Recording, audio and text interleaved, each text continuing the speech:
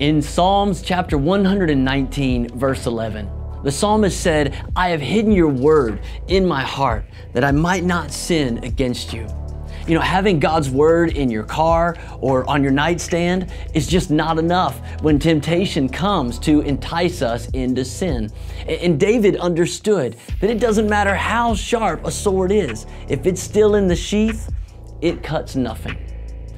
Reading the Bible is a great place to begin a healthy rhythm for spiritual growth. But meditating on it and memorizing it, that's where the real power comes from.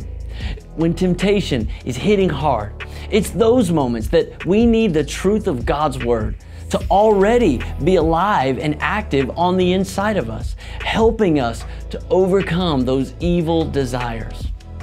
You know, when I was a kid, I could never let my brothers have the last word in an argument. I always had to have a comeback, and it always made things worse. Well, my mom, she was determined to break that habit in me. So she started quoting Proverbs 15:1 to me every time I would do it.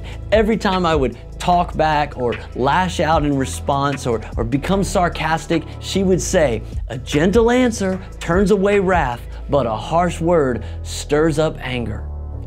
What was she doing? She was teaching me that I only escalate the problem when I respond with harsh words.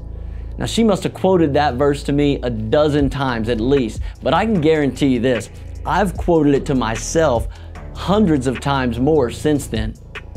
I've never lost that gift of sarcasm, and I can still give a quick comeback. In fact, if you're saying something harsh to me and, and I don't respond the same way, it's not for a lack of words. If I'm silent, it might be because I'm quoting that scripture in my head.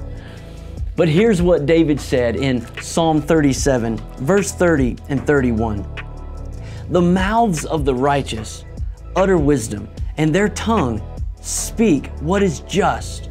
The law of their God is in their hearts, and their feet do not slip. So, how do we keep our feet from slipping in sin?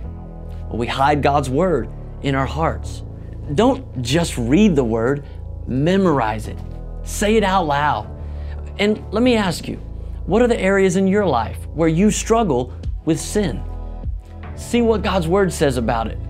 And then develop a rhythm of meditating on that word and memorizing those verses and hide it in your heart and God will give you the victory.